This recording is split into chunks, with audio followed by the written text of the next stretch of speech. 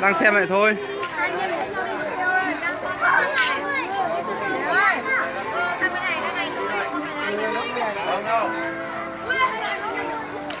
Đang lộn lộn. Đi đi xem thú hay là đi chơi trò chơi. Chơi chơi thì về nhà chơi. Đi xem thú mới thích.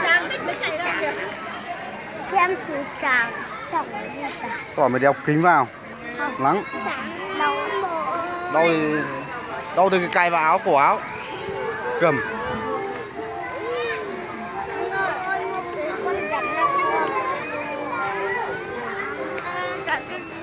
Nó bảo đang đi chơi nhá.